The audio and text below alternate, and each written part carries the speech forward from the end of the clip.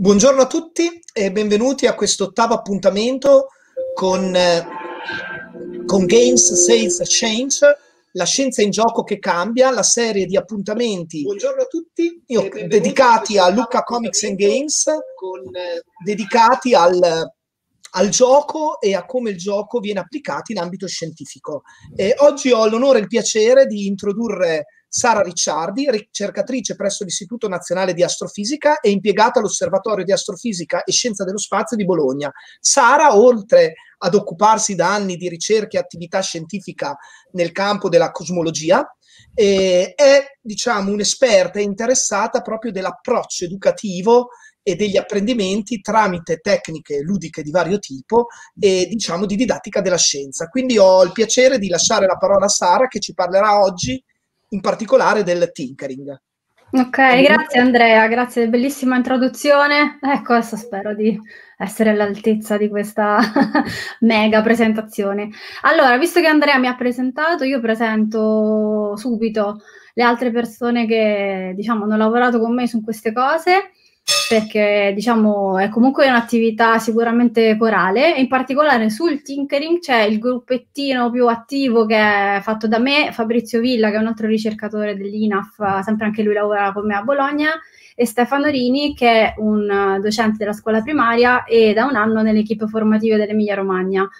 In realtà questo gruppo di lavoro, ma forse voi non state vedendo ancora le mie slide, quindi Eccole qua che arrivano.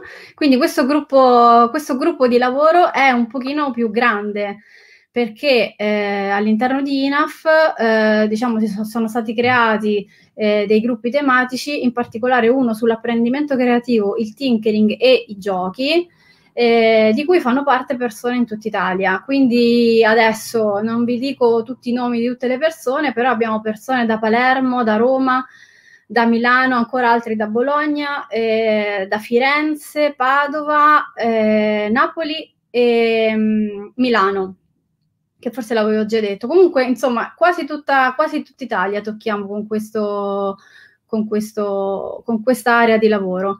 E nella prossima slide eh, vediamo un po' di diciamo un, un, po' di più come funziona in generale in INAF questa, questa area di interesse.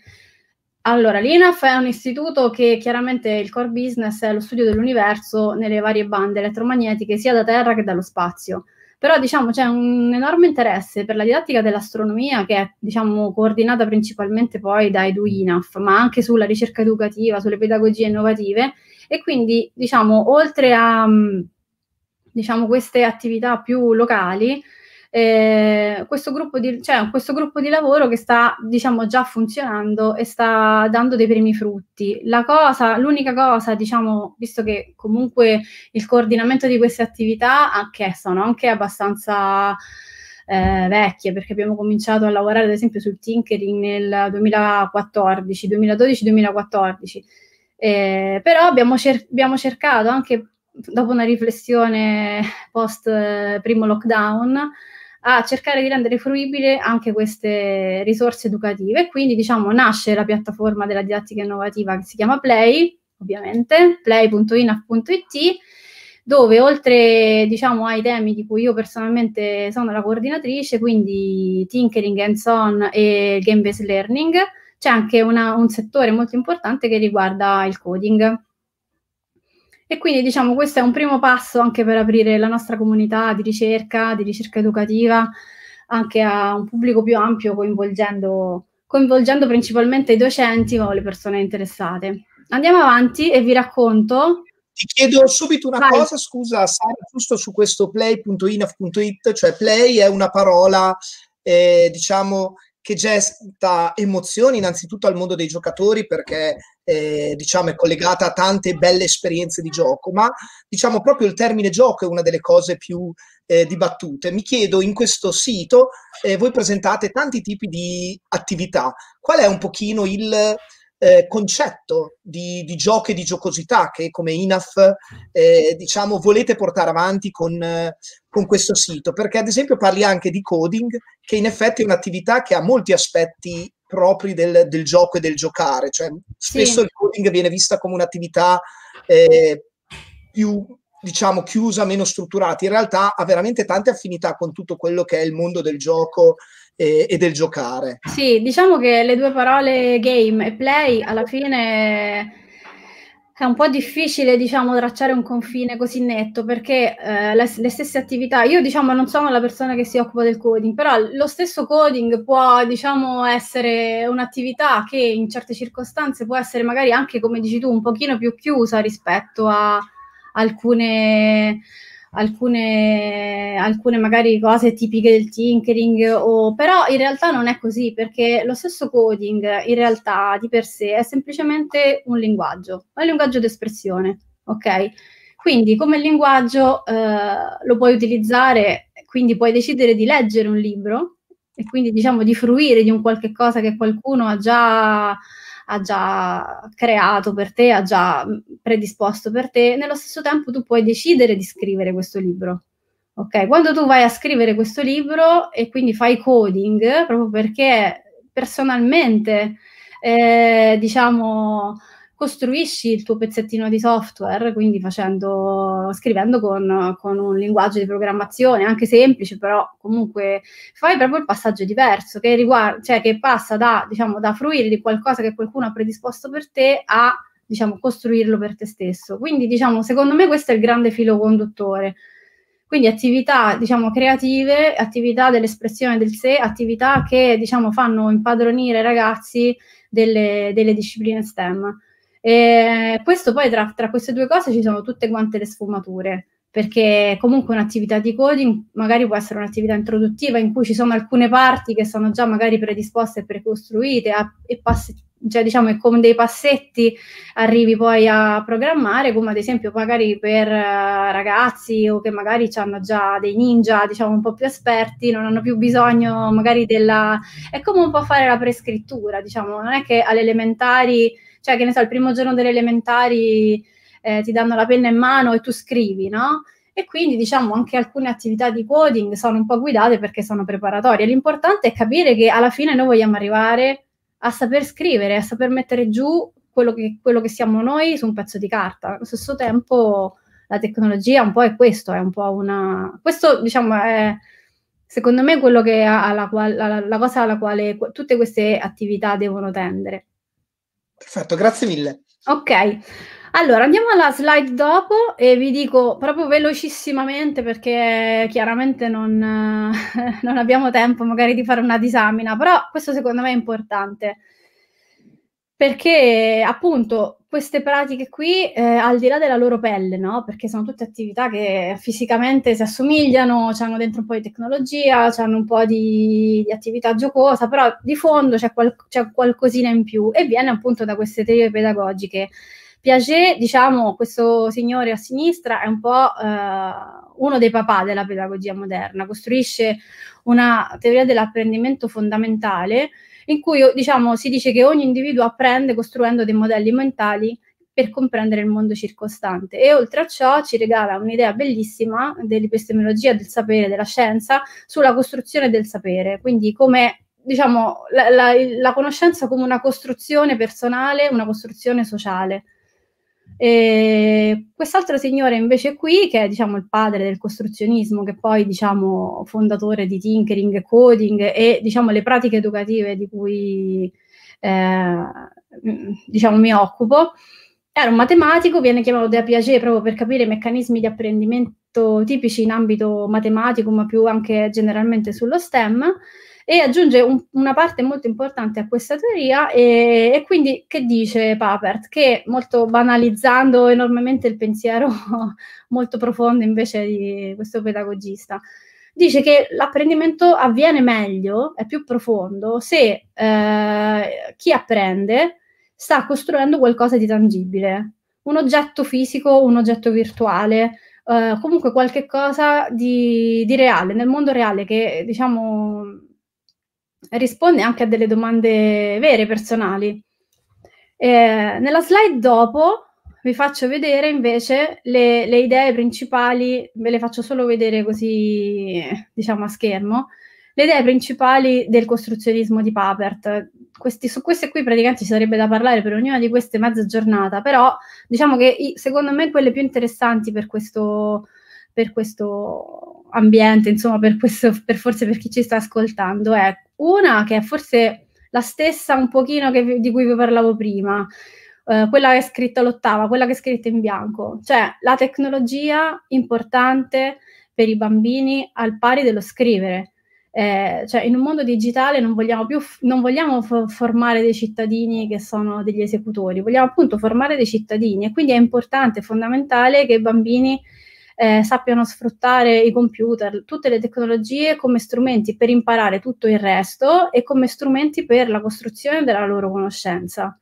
Quindi questo è, questo è importante, la, la similitudine della, della penna eh, non è mia, eh, di Mitch Resnick, che è il fondatore di Scratch, quindi vedete che anche il coding si intreccia con queste, chiaramente si intreccia con queste, Scratch è diciamo la più grande, più, la più grande eh, linguaggio di programmazione per, per ragazzi, diciamo pensato per, una, per i ragazzi, e, e, lui fa proprio questo paragone, dice, allora, non è che eh, non fa imparare a scrivere a, a un bambino perché lui comunque da grande non farà lo scrittore o perché non farà il giornalista, perché lo scrivere è una cosa, diciamo, di base per esprimersi, per essere, per comprendere il mondo circostante.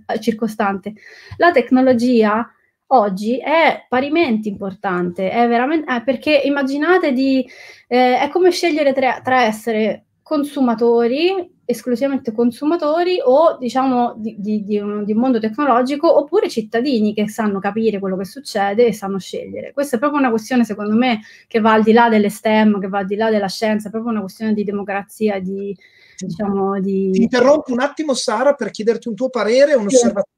Secondo me di questa cosa che hai detto che è interessantissima.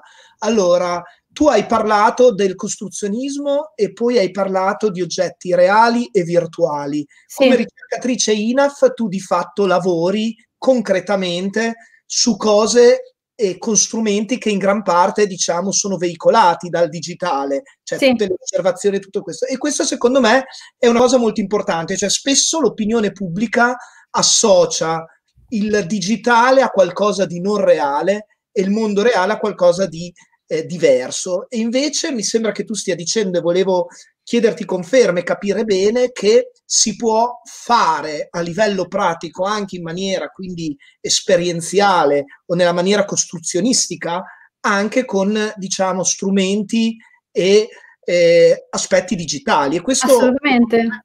Esatto. Sì, sì, sì, no, assolutamente, nel senso che questo forse magari per, per chi magari oggi ha 40 anni una formazione, diciamo, completamente umanistica o una certa, diciamo, senso di, non so, io lavoro tantissimo con, con le docenti e quando, anche magari docenti che alla primaria insegnano scienze e che magari mi dicono no, no, no, questo guarda, io neanche, neanche, lo voglio toccare perché io con la tecnologia non ci capisco niente. Allora, questa cosa qua proprio è un fortissimo stereotipo su se stessi. Io queste, per, queste ne conosco altrettante invece super smart e parlo delle donne non perché sono maschilista ovviamente, ma perché c'è uno stereotipo di genere anche su questo fortissimo. Quindi adesso tutte, cioè, si intreccia un po' quello che volevo dire. Però la, diciamo, la percezione del sé è una cosa fondamentale. I bambini non devono, non, non, non possiamo immaginare che, eh, che i cittadini di domani deleghino queste parti fondamentali della cittadinanza a qualcuno che gliele spiega e che gliele dice come gliele vuole dire, ok? Bisogna essere in grado di approfondirle, di capirle, di non lo so, mm, in realtà non è che c'è una ricetta, secondo me è proprio un, una specie di Mm, cioè io ti dico, tu puoi anche non capirlo, no? Una cosa, perché non, hai, non l'hai studiata, però se tu sei aperto rispetto alla possibilità di capirla e al desiderio di capirla, sicuramente io sono sicura che tu riuscirai a trovare le informazioni e la via per capire quella cosa. Non è un caso, secondo me, che in Italia, ad esempio, in televisione, io non, a parte che non la vedo tanto, però non c'è un dibattito, ad esempio, per dire, che ne so, io non sono un'esperta, però sulle politiche energetiche dell'Italia. Tu hai mai sentito un dibattito del genere? Perché probabilmente molte di queste persone, la maggior parte, diciamo, dei telespettatori, eh, non la vivono come una, un possibile qualcosa di cui essere interessati. Adesso eh, questo, è, questo, è, questo, è, drammatico per un paese. Adesso sul Covid, eh, cioè io delle volte mi viene da piangere perché eh, cioè, si vede un analfabetismo sì. potente, cioè nella lettura di un grafico che magari potrebbe essere una cosa, diciamo, normale saper leggere un grafico, perché ad esempio è normale che cioè che, che, mi sento davanti a dire davanti a altri adulti, ah no, no, ma io un grafico non lo so leggere e non... Secondo me dici una cosa interessantissima e cioè la matematica e diciamo ancora di più il coding eh, sono un linguaggio del nostro tempo. E tu dici indipendentemente dalla professione che un eh, ragazzo vuole fare è un tipo di linguaggio che bisogna conoscere e capire, cioè una base effettivamente, le basi di programmazione, ma fortunatamente diciamo in questo senso ci sono progetti sempre più diffusi nelle città sul coding, cioè, però capire eh, le tecnologie anche dal punto di vista della programmazione, senz'altro un aspetto importante, come Zimmerman, che è il filosofo che dice che viviamo nel secolo ludico, cioè quindi capire anche le meccaniche del gioco, l'interazione ludica è un aspetto fondamentale per capire per capire il nostro tempo. Quindi dici, secondo me, hai centrato una delle cose più importanti, cioè il discorso dell'educazione alla tecnologia è sicuramente un aspetto in cui siamo ancora molto carenti e su cui si deve lavorare. Comunque ti lascio continuare. Scusa, sì. No, diciamo che questa diciamo, è la cosa forse più importante per garantirci un futuro democratico, perché i cittadini alla fine un po' così chiusi e ignoranti, diciamo, sono proprio manipolabili in una maniera, sono un po' preda di quello che della classe politica e penso che noi non vogliamo che, che, accada. L'altro tema è quello che è evidenziato con, con il giallo, quello sul gioco serio che è, vabbè, ieri Matteo diceva no, non lo chiamiamo gioco serio che è brutto, però insomma il gioco, il gioco quello bello, quello che, che diciamo che ci fa lavorare meglio, eh, questo non significa che deve essere per forza qualcosa di facile, ok? Tante volte il divertimento più bello è quello, quello difficile, quello che ci mette in difficoltà, che ci sfida e ci fa impegnare ancora di più. Poi su questa parte qua diciamo che secondo me è l'anello proprio di congiunzione tra il game, ok, e la e play, diciamo il play che è legato chiaramente a queste attività, quindi diciamo è, è la, che diciamo non io sempre, ma viene chiamata playfulness, quindi diciamo questa atmosfera diciamo di gioco, di sfida, di, di challenge, eh, la vediamo poi nel resto del, del, del, talk, del talk, insomma della chiacchierata. Invece nella prossima slide ci tenevo anche a dirvi perché un'astrofisica, eh, dice perché, perché eh, proprio questa pratica educativa. Ecco, questa per me è stata una cosa, una scoperta totale. Quando l'ho fatta, diciamo, ho deciso che il tinkering doveva essere, il tinkering o comunque queste pratiche dovevano essere lo strumento privilegiato per, per me. Perché que- nel costruzionismo si introduce il concetto di artefatti cognitivi, cioè degli oggetti, dei dispositivi che facilitano l'apprendimento e di cui diciamo la persona, l'apprendista, l'apprenditore, il, il, learner diciamo necessita esattamente come un costruttore necessita dei materiali di costruzione. Quindi questi prodotti, questi oggetti, questi artefatti cognitivi devono, essere, devono poter essere diciamo costruiti, ma poi mostrati, discussi, esaminati, ammirati e quindi diciamo, leggendo queste, queste righe anche su, su, diciamo, su Mindstorm, che è diciamo, il testo principale, eh, mi domandavo, ma alla fine noi come comunità scientifica cosa facciamo? Cioè, che cos'è un satellite astrofisico oppure quello che vedete qua nella foto? Questo è un telescopio, eh, un radiotelescopio sulle antenne cilene. E ho messo questa foto perché il progetto diciamo, che stiamo facendo adesso io e Fabrizio è proprio la costruzione dei ricevitori ai piedi di queste, di queste bellissime antenne, no? Quindi che cosa sono questi oggetti? se non degli giganteschi, meravigliosi ovviamente, perché vabbè c'è anche un, un amore quasi, artefatti cognitivi, cioè la nostra comunità di ricerca lavora proprio così. E, ehm, fondamentalmente noi costruiamo dei grandi giocattoloni molto belli che ci piacciono tanto, che, attraverso i quali capiamo le cose. E quindi, diciamo, questo non è solo, diciamo, eh, tutte le cose belle e positive che abbiamo detto, che insomma studiando il costruttivismo capite quanto è importante per i ragazzi le skill del XXI secolo, quindi non è solo per loro, ma è anche diciamo, uno strumento per me fondamentale per spiegare nostra, il nostro, come funziona la, la, comunità di ricerca scientifica, che è secondo me anche un'altra cosa molto importante per il cittadino.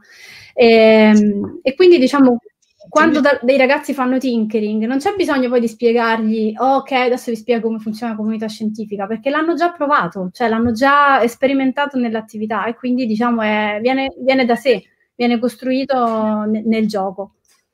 Ti appoggio lì una domanda, Sara, che non necessita una risposta subito, ma magari la svilupperai nel discorso dopo, ma mi chiedo a te proprio personalmente come ricercatrice, eh, nella tua attività di ricerca, quanto ti è stato utile o se lo è stato, oppure se non è stato, quanto sarebbe stato utile il avere una mentalità da giocatrice, cioè il saper giocare, il giocare, il saper mettersi in gioco, ma anche il proprio il aver giocato tanto a vari giochi di questo mm. tipo. E la seconda domanda che ti appoggio lì e se avrai occasione di rispondere, se no te la richiedo alla fine, è eh, secondo te quanto simile sono il lavoro di ricerca a tutti gli effetti da un gioco. Cioè, che similitudini e che differenze ovviamente ci sono. Ti metto qua queste due domande. Due domandine. Allora, guarda, una, una rispondo subito perché perché ho avuto un flash nella testa, che praticamente il mio gruppo di gioco di ruolo coincideva quasi completamente con il mio gruppo studio, quindi eravamo gente che alla, alla fisica, alla sapienza, eh, di giorno studiava e di notte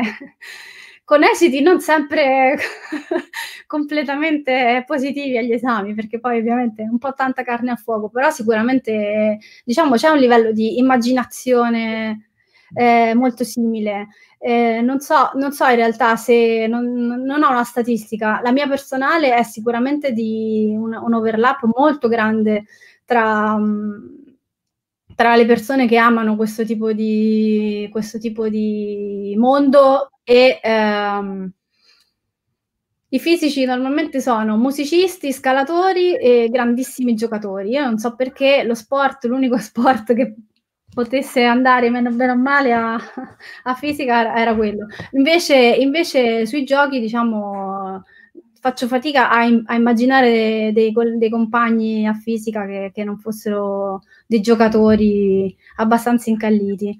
Eh, quindi sicuramente qualche relazione c'è. Eh, per quanto riguarda invece se può essere utile nella, nella, ricerca, quanto mi ha aiutato, questo forse non lo so quantizzare, però sicuramente eh, probabilmente il gioco è una delle cose che mi ha formato come persona. Quindi diciamo che è una cosa proprio importante nello sviluppo della persona, il sapersi, mettersi, il sapersi mettere in gioco. Cioè la capacità di... Questa è una cosa che chiaramente magari viene facile nel gioco, è più difficile magari rompere alcuni pregiudizi su se stessi, ci si mette tantissimo tempo anche de- a, a, pensare di potercela fare, no? Quello poi dipende anche dal, suo, dal vissuto personale.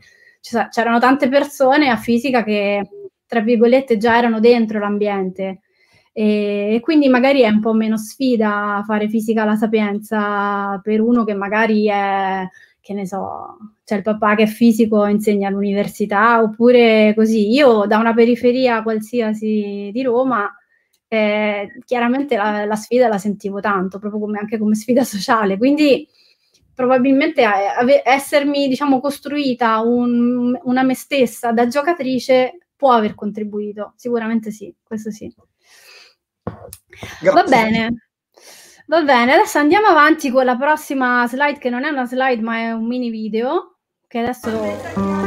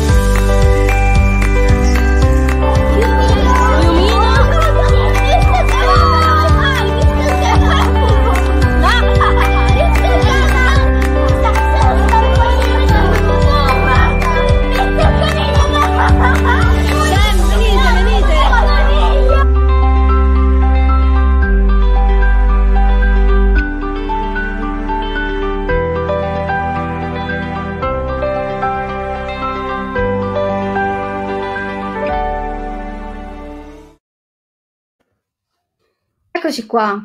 Dovevo per forza farvi vedere qualcosa per uh, avere un'idea che, di, quello, di, quello, di cui stiamo parlando, perché sennò abbiamo detto tinkering, tinkering, tinkering, è difficilissimo diciamo definire il tinkering, eh, però forse con un video del genere mi dispiace solo che non avete visto le facce.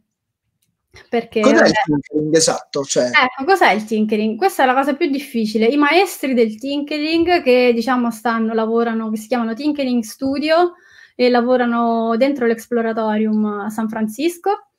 Eh, anche loro fanno fatica a, far, a, dare una definizione, ok? Quindi diciamo la loro definizione è che è uno sforzo umano molto profondo eh, nel raggiungimento della costruzione di qualche cosa di personale e molto, eh, non so, è, diciamo co- comunque collegato a uh, un'avventura di comunità.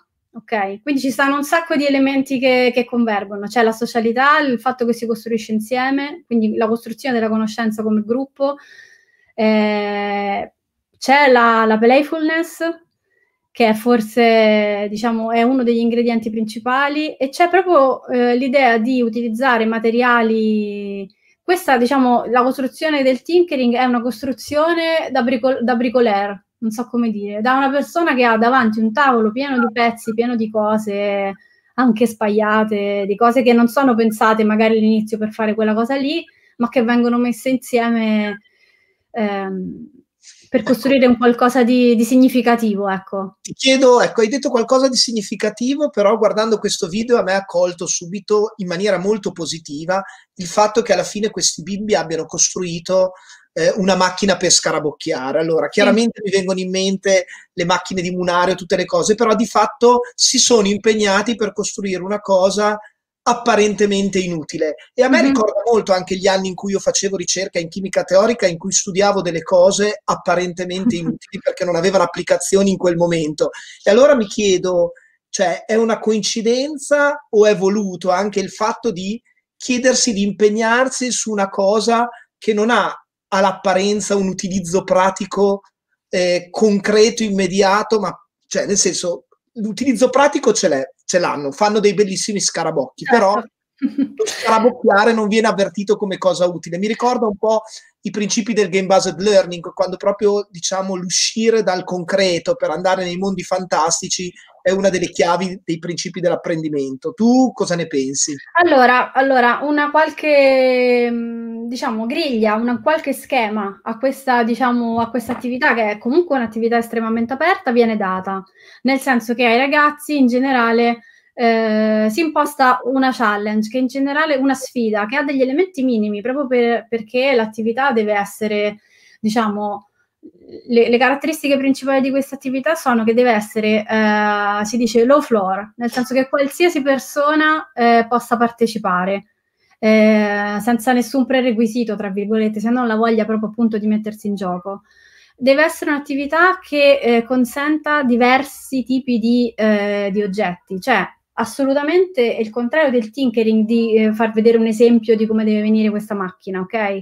Adesso è chi- e anche questa è una, è una, diciamo, una difficoltà della facilitazione perché chiaramente se mostro una macchina che ha quattro gambe, la maggior parte dei bambini farà una macchina che ha quattro gambe, quindi, quindi la, una, diciamo, una grandissima ampiezza eh, in orizzontale. E anche diciamo una bella profondità in verticale, nel senso che dal momento che questa attività magari viene fatta una prima volta in maniera un po' più più semplici, semplice in cui magari le macchine si assomigliano un pochino una con l'altra, poi questa cosa può diventare anche molto diversa perché da ragazzo a ragazzo, poi si, si, o da, da, gruppo a gruppo, magari si vogliono sviluppare degli oggetti un po' diversi. Questo è vero, ad esempio, pure con la pista delle biglie in verticale, ci sono dei, dei, delle attività che poi esplodono esplodono dal momento in cui loro appunto si sentono più padroni della tecnologia. E questa cosa che tu dici dell'attività fine, tra, fine a se stessa un po' è un po' il problema per cui magari tante volte in un curriculum scolastico eh, si fa fatica perché è chiaro che ad esempio in questa attività qua i ragazzi devono montare un circuito Ok, perché per farlo girare il motorino devono attaccare un circuito, poi per farlo vibrare devono capire che ci devono attaccare un pezzo di qualcosa che, eh, diciamo, che amplifica e fa effettivamente muovere l'oggetto, perché sennò la vibrazione dell'asse non basta. Poi devono capire quanto a livello di baricentro, quanto, quanto, pesa il fatto di avere il motorino in una posizione o in un'altra. Devono capire un sacco di fisica, ok, facendo questa cosa, però non è il motivo per cui devono fare questa cosa. Cioè, è un po' sottile, diciamo, incidentalmente impareranno a fare un circuito, però non è quello il fine dell'attività. Il fine dell'attività è molto più profondo, è molto più, eh, diciamo, legato proprio alla, a, alla costruzione della, della, della loro conoscenza e anche dell'imparare a costruire la propria conoscenza. Non so sì, come... Esatto.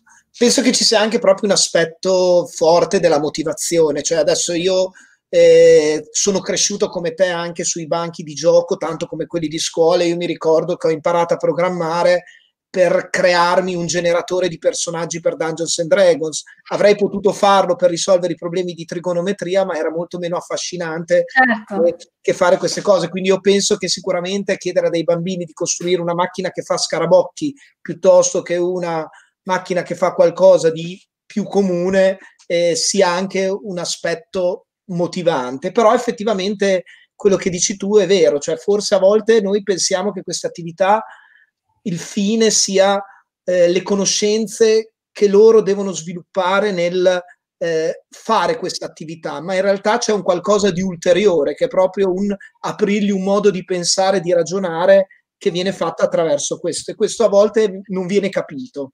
Sì, questa la, diciamo, questa è un po' la difficoltà. Eh, dell'inserimento que- di queste attività, ad esempio, in un contesto, in un contesto scolastico, eh, dove magari l'accento può essere più sulle literacy, anche se la scuola sta cambiando, perché anche, anche nella scuola adesso eh, si parla di competenze, però ad esempio tutta la valutazione è sempre, a meno di diciamo, insegnanti un po' speciali oppure di, diciamo, negli ordini di scuola più bassi, tipo fino alla primaria, ancora, ancora ci si fa, però ad esempio già vedo scuola, nelle scuole medie una grande difficoltà, perché sembra come se tu stai rubando tempo per le cose importanti, quando in realtà eh, queste sono veramente fondanti, sono veramente fondanti. E quindi io tante volte, cioè, non so, non so come, come fare, se camuffare un po' e dire e mandare avanti, diciamo, le literacy che comunque arrivano, cioè perché comunque questi sanno montare il circuito, hanno capito questo, questo e questo, e quindi non so se diciamo sfruttare questa cosa e incasellarla, nello stesso tempo un po' mi dispiace perché si nasconde invece il valore più profondo e più intrinseco dell'attività, della, della proprio della pratica. Quindi diciamo se, se, se, conosco l'insegnante abbastanza bene o comunque spesso queste attività vengono dopo un corso di formazione, anche loro diciamo eh, riconoscono questa duplicità e quindi si riesce a lavorare bene, perché sennò queste attività qui rischiano di essere veramente istruzioniste. Allora ragazzi, prendiamo tutti il bicchiere, prendiamo tutti il motorino, mettete mi raccomando il motorino sopra, però non lì, eh, nell'altro punto. Io così, diciamo, questa cosa qua è, è, è l'anti-tinkering, è, è, è, abominevole, cioè non so come dirlo. Cioè... No, anche perché nel lavoro di ricerca lo potrai confermare molto spesso, diciamo, quello che fa la differenza è al di là del conoscere gli strumenti che hai a disposizione, è proprio il pensare eh, come utilizzarli. Quindi, diciamo, la cosa più difficile nel creare un bravo scienziato, ricercatore è eh, insegnargli a pensare oltre, ad andare oltre a quello che ha, perché molto spesso eh, e sì, tu va, vendi alle scuole il risultato minimo quando in realtà è un'attività eh, che può offrire molto di più, ma a volte questo non viene capito. Ma infatti secondo me è un discorso che coinvolge principalmente i docenti, perché poi queste sono attività che richiedono anche tantissimo tempo e che devono diventare delle pratiche, cioè dei modi in cui eh, diciamo si approccia un, un certo tipo di disciplina. In realtà un po' tutte le discipline, perché sono anche mescolate molto con l'arte, si può fare storytelling, si può fare un sacco di cose con un laboratorio di tinkering, puoi praticamente insegnarci eh, qualsiasi materia se vuoi. Eh, questo un pochino, un pochino si fa. Eh, e secondo me, diciamo, in Italia non, non stiamo cominciando a muoverci anche in questi, in questi, ambiti. Però, diciamo, più che l'esperto esterno, eh, secondo me è proprio una rivoluzione interna della scuola che piano piano spero che, che si attuerà. Nella, nella, slide prossima, invece, vi, è proprio sempre a questo, a questo proposito di play e learn, eh, play e game un po', vi faccio vedere questa, questa è l'area gioco di tinkering che avevamo messo su per uh, eh, Play 2019 che è stato poi un po' il momento in cui ci siamo pure conosciuti Andrea, abbiamo fatto un po' comunella. E allora noi avevamo pensato di costruire diciamo quest'area dove i ragazzi, non so se si vede bene, comunque stanno costruendo delle piste delle biglie in verticale che vuol dire diciamo un, un mega scatolone con tutti quanti i pezzetti di legno, elastici, quello che potevano immaginare. Su queste piste che avevamo, pre- queste le avevamo predisposto noi, sono 7 metri lineari di, diciamo, di legno forato in cui loro potevano inserire quello che volevano e diciamo la challenge era all'inizio diciamo, di cercare di mandare la biglia dall'alto verso il basso eh, nel maggior tempo possibile, quindi una, la biglia che va più lenta possibile. Quindi diciamo questo era il, il, il, punto di partenza.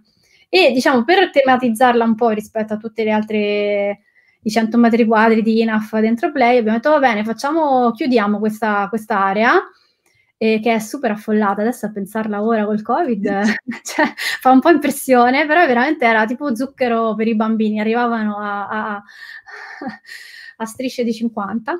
E ehm, avevamo fatto queste lettere col cartone. L'idea iniziale era tipo play to learn, poi l'abbiamo guardate queste scatole e abbiamo pensato ma scriviamo play to learn o learn to play?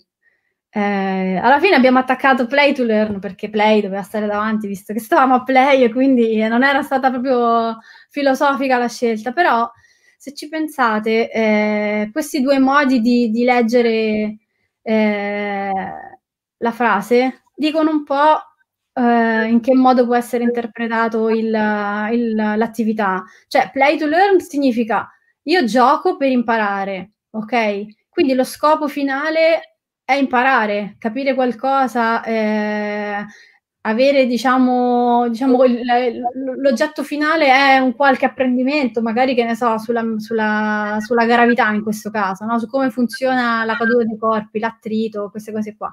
E invece il learn to play è, diciamo, la parte che riguarda quello che dicevamo prima, un po' le skill del ventunesimo secolo. Cioè, siamo tutti quanti chiusi in questa scatoletta, ci siamo divisi in gruppi, e affrontiamo insieme questa challenge e capiamo come affrontarla, cioè ci confrontiamo. Come si fa a scegliere se è più giusto quello che dice Francesco o quello che dice Maria? Ok? C'è qualcuno che ce lo dice, lo chiediamo alla, tra virgolette, ma- alla maestra che sta lì con noi. La maestra ti dice: No, guarda, vedi tu come fare, prova, vedi come funziona. Ah, ok, quindi poi alla fine si capisce che magari è meglio questa soluzione piuttosto che quell'altra per fare quello che avevamo in testa. Quindi... Forum, esatto, guarda, il Forum Mondiale dell'Economia dice che le doti più pagate e più richieste dal mondo del lavoro negli anni a venire, tra le doti ci sono la creatività eh, e il problem solving creativo. Eh, sì. Allora, sicuramente, diciamo, eh, credo che questi tipi di approccio eh, siano forse quelli giusti per creare una generazione che dovrà far fronte a problemi imprevisti. Guardiamo solo in che situazione ci troviamo a fare adesso, ma anche lavori che dicono che ad oggi non sono ancora stati inventati. Cioè, eh quindi sì. i ragazzi che formiamo oggi lavoreranno a lavori che ancora non, non ce li possiamo non immaginare. Esistono, che non sappiamo. Quindi sicuramente questo approccio nel saper giocare, imparare giocando, ma anche a giocare, eh, imparare a giocare, quindi avere una mentalità eh, giocosa e interattiva nel risolvere i problemi, penso che sia eh, una delle cose più interessanti del Tinker. Io sono rimasto incantato. Allora, io quando ho conosciuto Sara eh, per, per, il progetto di Play, di tinkering ne sapevo poco. Dopo ho cominciato a interessarmi, ho seguito degli interventi che Sara ha fatto ed è impressionante vedere cioè come ragiona un bambino di fronte a un problema in una situazione del genere, cioè proprio eh, che eh, abilità mette in campo, come si pone a cercare soluzioni. E più c'è anche tutta quella parte di peer education, cioè del guardare cosa ha fatto l'altro, imitarlo, provare a farlo meglio, che diciamo anche questo è alla base della comunità scientifica, cioè uno dei grandi Certo. pregi della comunità scientifica rispetto ad altre comunità è che nessuno vuole riscoprire l'acqua calda. Cioè se io voglio fare una ricerca, la prima cosa che faccio è guardare chi ha ricercato nel mio campo, cosa ha fatto, dove è arrivato e assimilarlo. Poi dopo. La comunità Ma- scientifica è un grande remix, cioè su Scratch c'è un pulsantone che si chiama remix, che vuol dire che tu prendi quello che ha fatto, diciamo, c'è qualcosa che ti è piaciuto, lo, lo prendi, lo remixi. È importante anche un'altra cosa dare i crediti perché comunque funziona così nella comunità scientifica, nel mondo, nel nostro mondo. E, e quindi si riutilizza diciamo, la conoscenza di, di, di, chi sta lavorando a fianco a noi, anche di, di competitor, perché no? Perché diciamo, anche quest'altro aspetto, diciamo, non, non, ne ho parlato tanto, però ci sta anche una parte diciamo, di competizione, non magari all'interno dello stesso gruppo, perché sennò poi il gruppo fa un po' fatica, quindi si spera che all'interno dello stesso gruppo invece ci sia più cooperazione, però diciamo tra gruppi diversi, soprattutto per la pista delle biglie, che è una challenge molto chiara, no? Perché effettivamente c'è un qualcosa di quantitativo, effettivamente il tempo che ci mette, mentre le macchinine, ognuno può dire che la sua è la più bella, eh, su alcune diciamo ci sono dei punti, delle cose quantitative che, e quindi un po', un po', di, un po di sfida c'è. E, e, questo, e, questo appunto, questa, questa, modalità qui è secondo me è un, un bello specchio di come funziona e come funzionerà sempre di più il nostro mondo. In realtà c'è un altro aspetto che è diciamo quello forse chiave di perché diciamo la playful, playfulness è fondamentale dentro questi laboratori di cui ancora non vi ho parlato, che però per me è veramente importante. Ed è diciamo come eh, di quanto questa, questa attività eh, possa essere inclusiva. E su questo vi racconto la mia esperienza, perché comunque prima di fare laboratori così c'ero già stata nelle classi, magari a raccontare, che ne so, eh, la mia attività di ricercatrice, perché comunque diciamo già diciamo che vado io in una classe che sono una donna e anche racconto semplicemente quello che faccio, già è diciamo powerful perché assomiglia alle loro mamme e quindi loro hanno un attimo di anche le ragazze dicono ah, allora possiamo, farci, possiamo farlo pure noi, diciamo che no, non sono magari lo stereotipo fisico del, del fisico, del ricercatore e, e quindi questo già di per sé aiuta.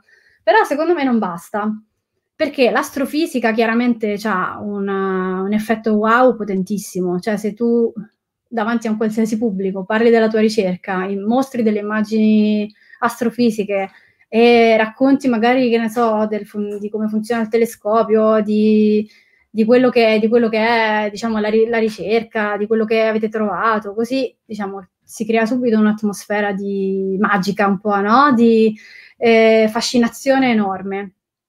E questa è una cosa che spesso viene utilizzata.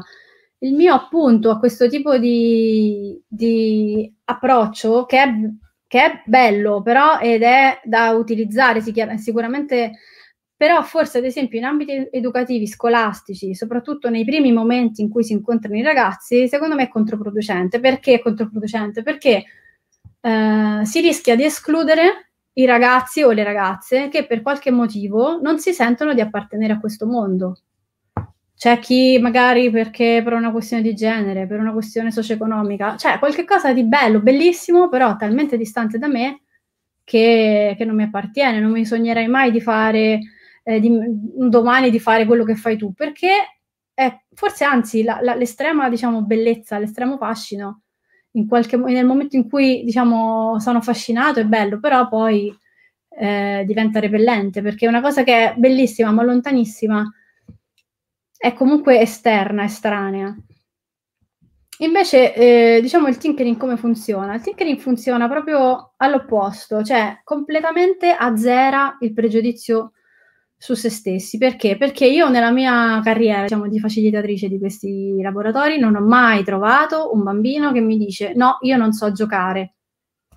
Cioè, questa attività qui è veramente...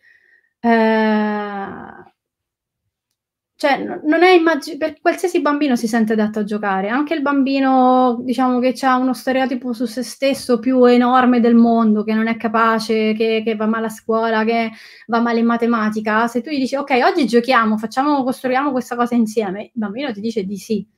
ok? Questa cosa qua, diciamo, ti consente di cominciare ad entrare nel, nel, nel mondo, nel suo mondo, e di fare dei primi passetti. Dal momento in cui loro sono già dentro, e questo ve lo dico anche lavorando in contesti un po' disagiati, eh, cose, mm, diciamo, contesti un po' difficili, eh, c'è questa possibilità di entrare nel loro mondo. E poi a me mi è capitato tante volte, soprattutto appunto nei, in contesti magari un po' più difficili, che io neanche mi presentavo, ok? Quindi io praticamente entravo nella loro classe o insomma dove stavano facendo l'attività dicevo ok oggi vi va di giocare a questo gioco? Sì sì ok cominciamo facciamo cominciamo con le attività la parte la challenge. I ragazzi lavorano lavorano per un'ora. Ovviamente non hanno nessuna idea del mio lavoro di quello che faccio io nella vita. Tipicamente mi identificano con un'educatrice o non so qualcuno che eh, eh, comunque di lavoro non fa certo l'astrofisico l'astrofisica poi subito dopo, magari dopo che loro hanno montato mm, il, il, motorino oppure che hanno costruito la pista delle biglie, magari nel debriefing ognuno racconta la cosa sua, fa ma sai che questa cosa, che questo problema che avete trovato voi eh, è un problema che abbiamo avuto anche noi col satellite Planck quando abbiamo costruito il satellite Planck. Cioè, questo meccanismo qua eh, ti consente di eh, bypassare il pregiudizio che molti di loro hanno su se stessi perché il ragazzino che va male in matematica, che si sente veramente che va male in matematica, fa una gran fatica a fare magari un laboratorio che già sopra c'è un'etichetta con scritto STEM, ci stiamo occupando di cose difficili, ok?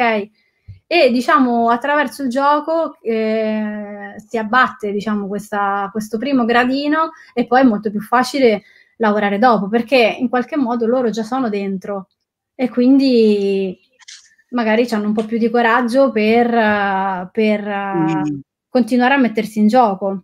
Ti faccio una domanda perché hai detto una parolina magica su cui diciamo abbiamo discusso tantissimo di chi si occupa di gioco, di didattica ludica, di educazione non diciamo informale. Hai parlato di debriefing. Sì. Eh, allora, nel, nella didattica ludica, nell'EduLARP, in tutte le modalità, il debriefing è una parte imprescindibile e importante, anche eh, diciamo nel tuo approccio, cioè nell'approccio sì. del tinkering, della playfulness, il debrief è una cosa diciamo. Centrale.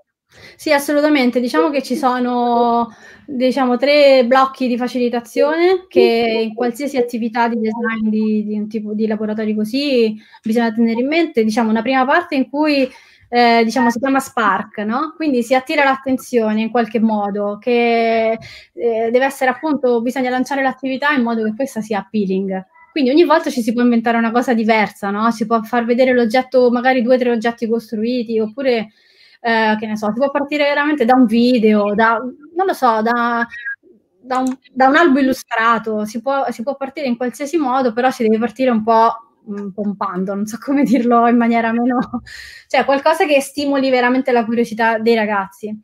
Poi ci sta la parte, diciamo, di facilitazione vera e propria, dove eh, valgono le, eh, valgono le, le, classiche regole della facilitazione, ovvero di non entrare, di non dire troppo, di, di, essere, diciamo, di mettere al centro le idee dei ragazzi. Questa forse è la cosa che i facilitatori non tanto esperti fanno fatica a fare.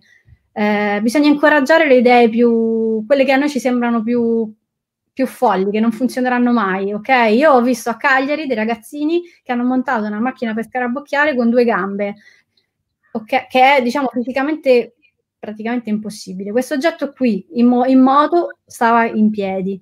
Non mi dire come, come faceva, però la faceva. Io nel momento in cui li ho visti, questo per, per un facilitatore è difficile perché tu dici cavolo, ho solo due ore, alla fine tu vuoi che tutti abbiano fatto un pezzettino, anche piccolo, che però almeno una volta la macchina sia stata in piedi. Quindi sei tentato di dire guarda, però magari forse se ne metti tre è meglio si fa tantissima fatica, ma quello che hanno ottenuto quei ragazzi facendo esattamente quello che volevano fare loro, che era quel minion, cioè avevano trovato una mega tic tac gialla e quindi avevano bisogno però di due piedi, perché il minion ha due piedi. Cioè sono cose serie, importanti. Cioè se tu vai là e dici aggiungi un piede, no, non va bene. Eh, però guarda, sono importanti, sì, prova a pensare quante volte nel, nel campo delle scienze, della ricerca, eh, diciamo un'idea visionaria che sembra assurda per quei tempi alla comunità scientifica, in realtà ha fatto fare dei passi e un'accelerazione che diciamo, ricerche più tradizionali avrebbero impiegato più tempo. Quindi certo. è bellissimo eh. stimolare questo tipo di cose. Bisogna, diciamo, abbracciare il possibile fallimento. Non fa niente, cioè è un laboratorio che si basa sul fatto che loro sbaglieranno tanto,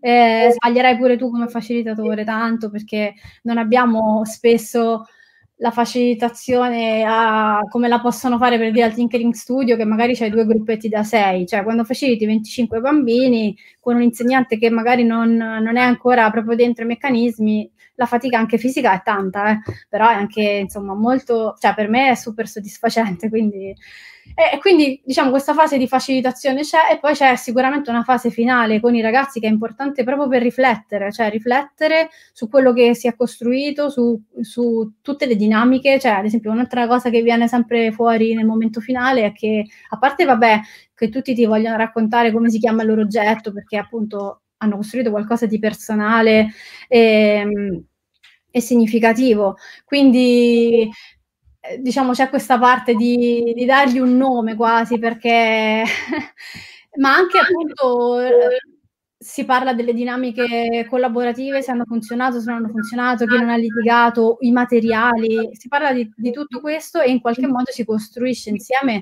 una conoscenza comune, perché tutto quello che loro si sono detti eh, imparando l'uno dall'altro durante la facilitazione, dovrebbe venire fuori appunto in questa fase finale di debriefing in cui diciamo eh, anche per chi, anche se magari per qualcuno non è tutto quanto diciamo chiarissimo, perché poi magari hanno fatto anche dei percorsi ognuno diversi nel laboratorio, però in questa fase qua diciamo si dà una certa continuità alla, diciamo, all'apprendimento, quindi si costruisce veramente una comunità di apprendimento dall'inizio, ma poi diciamo nella fine del primo laboratorio si costruisce e si vede proprio una grande differenza tra la prima volta che si fa questa attività e la seconda. Cioè la seconda volta i ragazzi partono già eh, padroni ed è questo è bellissimo secondo me, perché vuol dire che già anche in un solo intervento, se fatto bene, hanno acquisito una diciamo, padronanza della, della, del mezzo e tipicamente è una cosa che, che non la dimenticano. Va bene, non ti interrompe, ti lascio andare avanti perché il tempo comincia a essere tiranno e se hai delle slide da far vedere.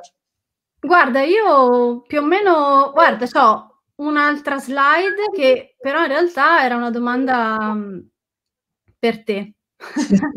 Anche se sei tu che me le devi fare a me, però ne abbiamo parlato in lungo e in largo, e forse un po' abbiamo già risposto, però secondo te, ecco, magari anche se c'è qualcuno che ci sta ascoltando dall'altro lato, che distanza c'è tra questo gioco, questo giocare qui e il gioco come lo pensiamo di solito? Se esiste però, eh, a questo punto dopo un po' di giorni dentro Luca Changes eh, fa- faccio fatica a... questa frase qua l'ho scritta già qualche giorno fa, faccio fatica a pensare il gioco come lo pensiamo di solito perché mi sembra che la definizione è un po', è un po allora, ampia. Diciamo che sicuramente eh, questo tipo di attività è estremamente eh, sovrapposta al concetto di gioco, perché comunque nel momento in cui si pongono degli obiettivi, che possono essere anche obiettivi, eh, diciamo, apparentemente bizzarri, come il costruire una macchina eh, che scarabocchia, nel momento in cui ci sono degli strumenti e ci sono delle regole eh, per utilizzarli, cioè banalmente gli strumenti a disposizione sono quelli, uno può usare quello che c'è nella stanza, diciamo entriamo anche da un punto di vista proprio forse accademico nella definizione di gioco, perché c'è comunque un elemento, eh, diciamo un inizio e una fine di un'attività, ok, ci sono degli obiettivi chiari, c'è una modalità per, per affrontarli, ci sono delle regole, quindi io veramente non vedo eh, mm. una grande differenza tra questa attività e giocare, mentre diciamo la vedrei di più nel momento in cui uno mette a disposizione eh, la scatola delle biglie e dite fate quello che volete. Ecco, quello, diciamo, su quello vedo più una lontananza dal gioco perché non c'è un obiettivo, non c'è un inizio e una fine dell'attività, ma se uno dice con queste biglie, con questi materiali mi devi costruire la pista eh, che riesce a tenere la pallina sospesa per area il maggior numero di tempo, eh, è a tutti gli effetti, cioè non, ci, non, lo vedo molto diverso da una partita Terraforming Mars in mm. cui il tuo obiettivo deve riuscire a fare un punteggio e colonizzare il pianeta, cioè semplicemente cambiano gli strumenti, cambia la difficoltà, ma ecco, eh, sicuramente questo è... Eh, c'è da dire che quindi immagino incontrerai gli stessi terribili eh, eh, difficoltà eh, a far passare l'attività che tu proponi come attività veramente di valore formativo, perché purtroppo eh, noi adesso qua ci troviamo nel pubblico di Luca Chains, in uno dei forse dei pubblici potenzialmente più benevoli nei confronti del gioco e del giocare, eh, però è comune il fatto che uno ti dica sì vabbè giochiamo ma a cosa serve oppure ma perché eh, specialmente quando si entra in certi ambienti didattici educativi. Quindi ecco, la similitudine col gioco io ce la vedo fortissima, ma immagino che sia un qualcosa eh, che ti crea anche delle difficoltà. No, diciamo che sì, eh, questa attività qua, quando viene vista diciamo dall'occhio inesperto, eh, sembra veramente che, cioè, da fuori, senza nessun, diciamo, senza nessuno, entri in una stanza e vedi questa attività qua. Allora, in generale le persone intanto si meravigliano che sia collegata e non riescono proprio a immaginare il collegamento con l'astrofisica, che invece per me è proprio una roba chiara, chiara palese e, e e limpida, cioè non c'è proprio da, da, tanti punti di vista, un pochino l'ho detto nel, nel, nel talk, ma cioè, secondo me è una roba lampante, però vabbè capisco che magari uno entra in una stanza, vede i ragazzini che giocano e non la capisce, però eh, nello stesso tempo un'altra cosa che è difficilissima da, da far passare è il concetto proprio del formarsi come facilitatore. Cioè, sembra un'attività che qualsiasi persona può, può, fare. Io con questo non è che voglio dire che è un'attività che la posso fare io o la puoi fare tu che ti do il bollino, assolutamente no. Però riconoscere al fatto che questa attività abbia bisogno di una facilitazione di un certo tipo, di averla provata, riprovata, di aver magari fatto, di aver fatto esperienze diverse. Questa, diciamo, se, dal momento che è un'attività che si fa più o meno con materiali comuni, eh, ecco, eh, paradossalmente vedo che sono quasi più preoccupati nel procurarsi materiali, che poi tutto sommato non sono difficili, però eh, magari che ne so, devi comprare quel particolare motorino, cioè non mi chiedono eh, Sara, senti, però spiegaci bene come hai fatto a facilitare, perché io non, non, riesco bene a capire come aiutare i ragazzi senza dire troppo affinché loro siano veramente i protagonisti. Questa domanda qua me la fanno, eh, chiaramente, però me la, me, me la, sento di meno rispetto a, senti, ma la lista del materiale, ma eh, sai, il motorino quale uso, questo o quell'altro, cioè questa cosa qua io... Eh, proprio perché l'attività assomiglia a, a un gioco, come facile, cioè anche... Mi, ti rigiro una domanda dal pubblico, cioè una provocazione, una mezza domanda che Armando ci dice quanto simile, quanto vicina è la figura del facilitatore a quello del master dei giochi di ruolo. Eh, allora, secondo me, guarda, eh, secondo me il giocare con queste, con, questi, con queste attività qua ti fa essere un po' master ok? Perché comunque stai creando il tuo mondo. Quindi secondo me il facilitatore, vabbè, chiaramente il facilitatore di un'attività di Tinker è tipo il master dei master, non so come dirlo, però già secondo me lo stesso ragazzino col suo gruppo, col suo gruppo col quale sta lavorando, già in qualche modo sta, tra virgolette, costruendo un mondo. E questa attività qua è proprio assomiglia un po' a quando crei l'avventura, no? Perché cominci da un pezzettino piccolo, comunque quella certa città, quella certa mappa, e poi la mappa si allarga, si allarga, si allarga.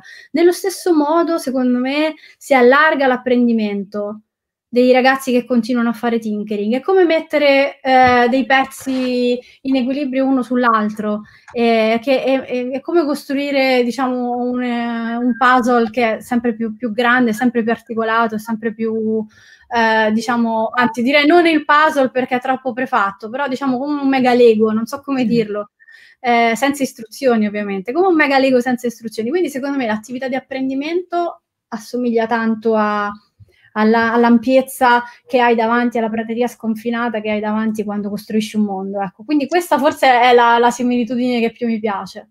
Ok, ti ringrazio molto, ringrazio Sara per questo interessantissimo veramente eh, intervento che è partito dal tinkering, dalla playfulness, ma in realtà ci ha dato una visione proprio de, di un approccio, di una mentalità educativa che può essere utile eh, per il mondo scientifico.